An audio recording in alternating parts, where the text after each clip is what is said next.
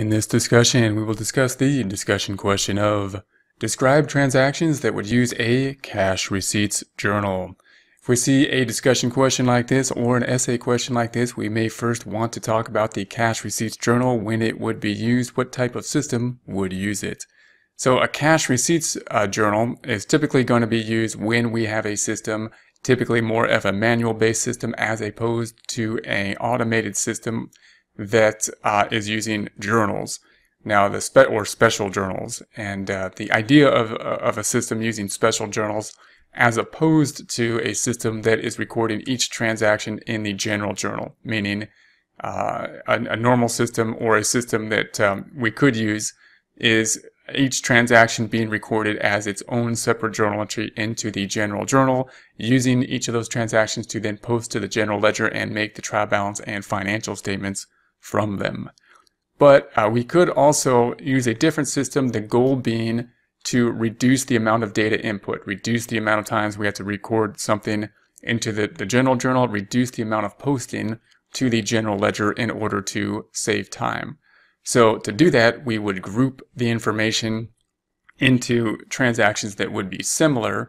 and be able to make these uh, these types of journals that uh, special journals that would be designed to record typical transactions more easily. And then instead of recording each transaction as it happens to the general ledger and posting each to the to the general ledger,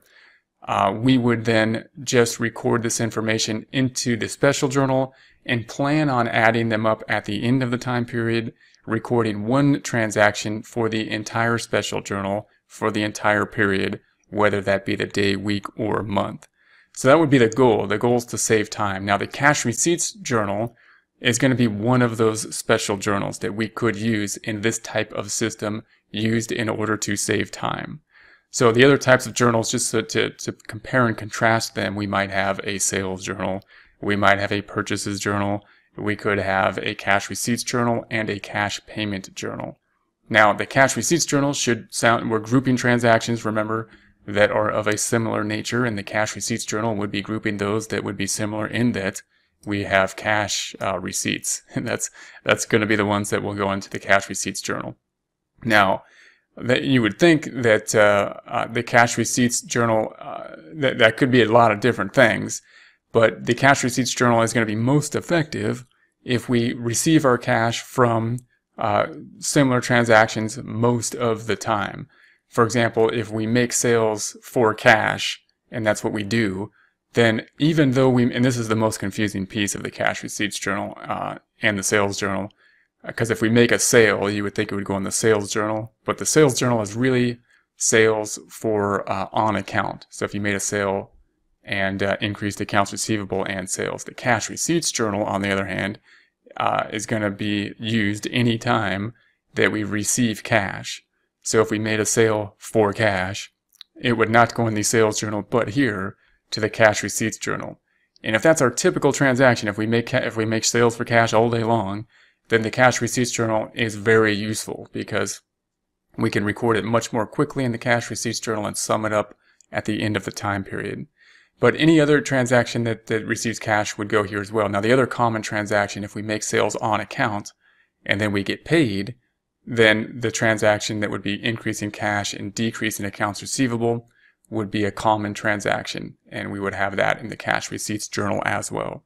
Now, any other transaction that deals with the receipt of cash would have to go here as well. So if we had the, the owner invested money into the business, or if there was a loan that uh, we, we received cash for, if we got interest, uh, we earned interest and it was, we got cash for it. Any type of thing that we got cash for. Now, typically we only get cash for a few things, hopefully sales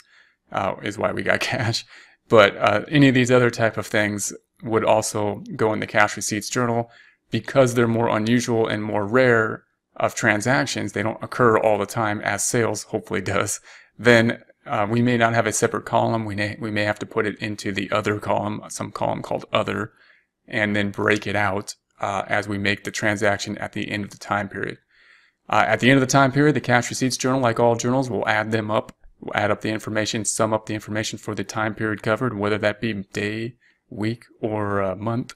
and then we'll post one transaction to the general journal representing all the activity for the uh, cash receipts journal to the general journal. And then we'll post that journal entry to the general ledger creating the trial balance then from that and the financial statements